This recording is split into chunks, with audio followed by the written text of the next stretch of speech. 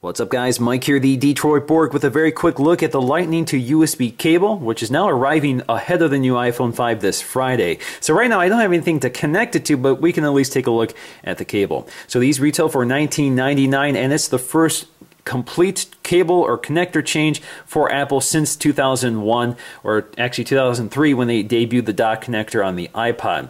Uh, so that's quite a long run for any dock connector standards that actually predated the mini USB connector.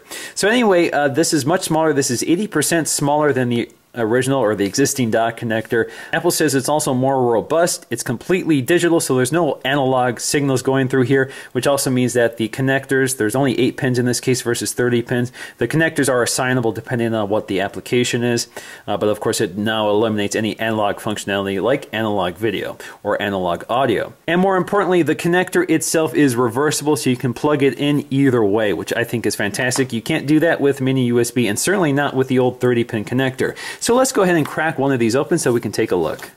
All right, so I'm just going to pop this open, pull out the cable. You can see it's very nice and neatly tied together with this little cardboard insert. Uh, so we're just going to release that. Pop it through. You have to do that with the other side here. Who knew uh, unboxing the cable could be this fun, huh? All right, so let's get that out of the way. And there is our new cable, and it is very tiny. That is a very tiny connector. It even seems to dwarf the micro USB connector. And of course, we still have our standard USB connector, which is USB 2.0. Doesn't support USB 3.0. So let's take a look to see just how much smaller this is compared to the 30-pin dock, and you can see much, much smaller.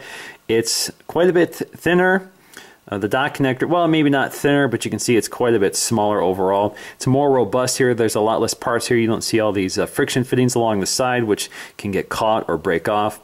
Uh, and of course, it's reversible, so you can install this in either direction. Now the cable design is pretty familiar and it's also the same length. So if you bring it all the way to the end, you can see the USB ends are the same length uh, and they're also the same, same design. So you have the USB logo there. Now it looks like they also shrank the base of the USB cable here so you can see it's a little shorter. Now looking very closely at the connector, you can see our eight pins on either side. Again, this makes this reversible. You can also see that the metal part of the plug is unibody. You see no seams here.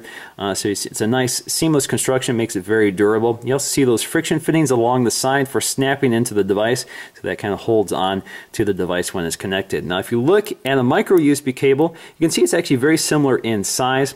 But of course the micro USB connector is not reversible and you also see those uh, metal friction fittings on the back which snap into the device. So very similar in idea and size but executed much more elegantly by Apple here. Alrighty guys, so until I get a device to plug this into, that's all there is to it. Thanks for watching and I'll see you again in the next video.